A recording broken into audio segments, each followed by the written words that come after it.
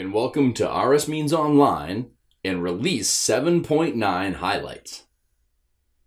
With Release 7.9 of RSMeans Online, you can now create mixed estimates that include unit costs and assembly costs.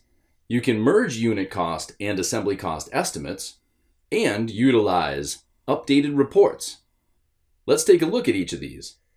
Here in my Manage Estimates tab of RSMeans Online, you can see that I have a couple of unit cost estimates, a couple of assembly cost estimates. Up until now, these were separate, kept separate. As soon as you started an estimate, you chose which it was, went from there and couldn't change back and forth. Now you have the ability to do that. For example, this roof repair estimate, it's a unit cost estimate. I'll open it up just by clicking on it. And you can see this is a unit cost estimate. I'll scroll down a bit here and you will be able to see the estimate itself, the estimate window with the line items, different types of brick, demolition, sheet metal flashing, quantities, and the source as unit cost. But if I get to a point in my estimate now, I could easily change my type to assembly cost. And now I could continue my estimate adding assembly cost to my estimate. Choose a footing or whatever it is you might need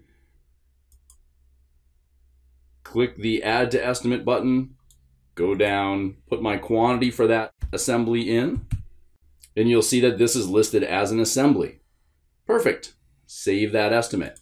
Upon saving that estimate and going back to my Manage Estimates tab, you'll see that that estimate is now listed as an assembly unit cost estimate or a mixed estimate. You can do that with any estimate, unit cost or assembly cost. You can also merge unit cost and assembly cost estimates. For example, I can take this scaffolding estimate and I can merge it with this garage estimate.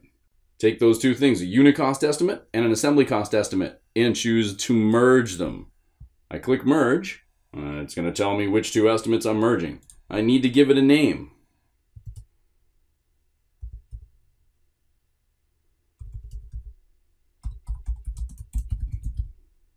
Come down and give it an address.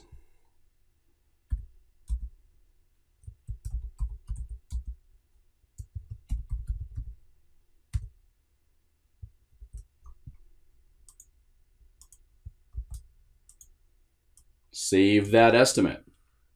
This too will appear as a mixed estimate, assembly and unit cost. It is a combination of the two estimates. Now if I click on there, open that scaffolding garage estimate up, we'll see the unit costs and assembly costs included in that estimate. But also, we can take a look at our new updated reports. I click on report. I choose to do a merged assembly unit detail, assembly unit summary, or included the subcontracted lines if I happen to have done that. I can choose to do a detailed report. I can put some percentages in and click preview. Adobe PDF will open up and show me my new estimate. Make this a little bit bigger for you. There we go. And I can scroll down a little bit and I can see that the report is going to separate the unit cost line items, showing them by division, of course, and then it's going to show me my percentages, anything I put on for markups, and then a unit cost total. Continue down through the report, and I'll see the assembly cost line items. I'll see the assembly total, and then I will see a grand total. Very nice. Nice, clean, new reports. So remember now, you can create mixed estimates, including unit costs and assembly costs, merge unit cost and assembly cost estimates, and utilize those updated reports. Thanks.